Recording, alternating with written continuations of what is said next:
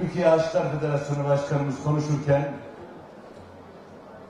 bizim bu coğrafyanın en temel referans değerlerinden bir tanesi olan yardımlaşma Anadolu kültürünün merkezinde yer alan bir değerimiz. 48 milyon öğün yemek verdik dedi 6 Şubat depremleri esnasında. Ben o bunu söylediği zaman biraz gürültüye gitti, kalabalığa gitti, yeterince alkışlanmadı. Ben Aşçılar Federasyonu'nun bu hassasiyeti için teşekkür ederim. Bir kez de onları alkışlamanızı istiyorum. Ben diyorum ki bundan sonra en azından Anadolu yemekleri, Anadolu geleneği, kültürünü akredite eden Michelin yıldızının yerine Mengen akreditasyonu gibi bir şey oluşturalım hep beraber. Böyle bir şey yapalım.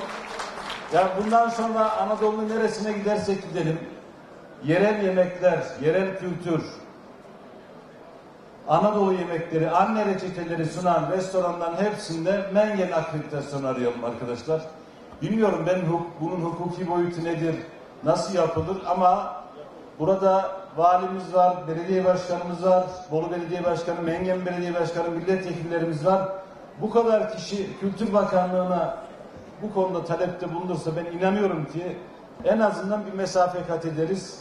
Hem de Mengen'e de bu vesileyle e, bir değer daha kazandırmış oluruz. Ayrıca da Michelin yıldızının artık o ifadeyi de başka ortamlarda kullanmak durumunda kalırız. Şimdi başka bir referans değer üretmiş oluruz diyorum. Bugünlerde çokça tartışma konusu olan Türkiye Yüzyılı Marif Modeli biliyorsunuz. Yeni eğitim öğretim yılından itibaren hayata geçecek. Bu festival bağlamında bir şey söyleyeyim.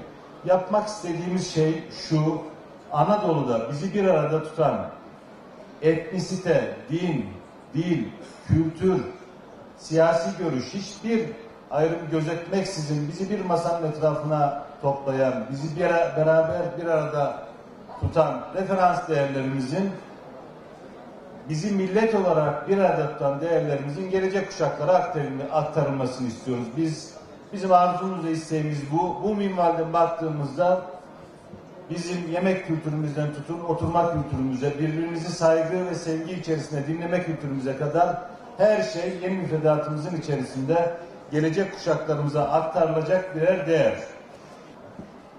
Şimdi çok fazla şey yayılmaya başladı. Bu gastronomi üzerine orta öğretim kurumu yayılmaya başladı. Yüksek öğretim düzeyinde de hem en üst ön lisans hem de lisans düzeyinde programlar yaygınlaşmaya başladı.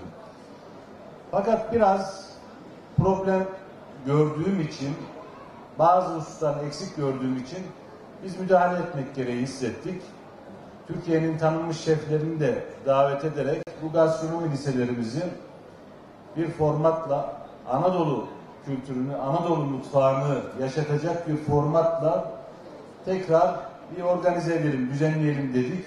Şu an Türkiye'de 7 tane bu anlamda gastronomi lisesi organize ediyoruz. Burada yabancı dilden tutun anne reçetelerine kadar her şey programın içerisinde olacak.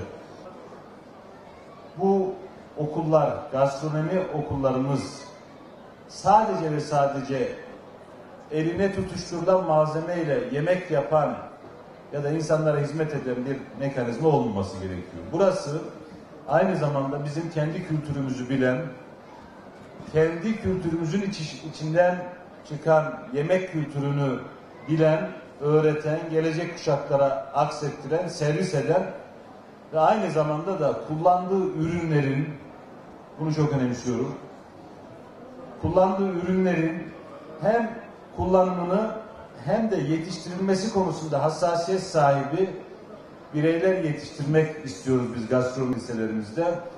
Kabaca şöyle bakıyoruz. Aslında gastronomi dediğimiz şey birbirini tamamlayan bir ekosistem. Bu ekosistemin içerisinden bir parçayı çıkardığınızda, herhangi bir parçayı eksik bıraktığınızda biz çok farklı noktalara varmış oluruz. O yüzden biz yeni dönemde gastronomi ile ilgili adımlarımızı da bu şekilde atacağız. Bu festival gastronomi dünyasındaki yeni gelişmeleri, yerel ve uluslararası lezzetleri bir araya getirerek aşçılık ve gastronominin gelişmesine büyük katkı sağlamaktadır.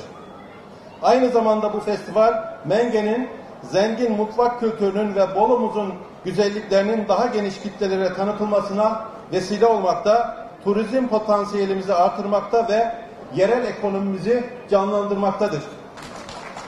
Bugün 37.sini kutlamaya başladığımız Aşçılar, Mengen Aşçılar Turizm ve Gastronomi Festivalimizde hayırlara vesile olsun diyorum.